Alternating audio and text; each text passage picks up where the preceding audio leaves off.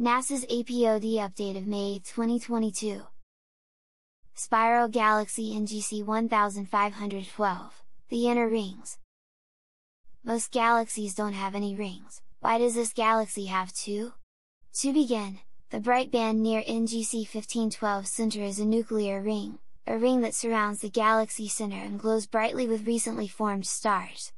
Most stars and accompanying gas and dust, however, orbit the galactic center in a ring much further out, here seen near the image edge. This ring is called, counterintuitively, the inner ring. If you look closely, you will see this the inner ring connects ends of a diffuse central bar that runs horizontally across the galaxy. These ring structures are thought to be caused by NGC 1512's own asymmetries in a drawn-out process called secular evolution. The gravity of these galaxy asymmetries, including the bar of stars, cause gas and dust to fall from the inner ring to the nuclear ring, enhancing this ring's rate of star formation. Some spiral galaxies also have a third ring, an outer ring that circles the galaxy even further out.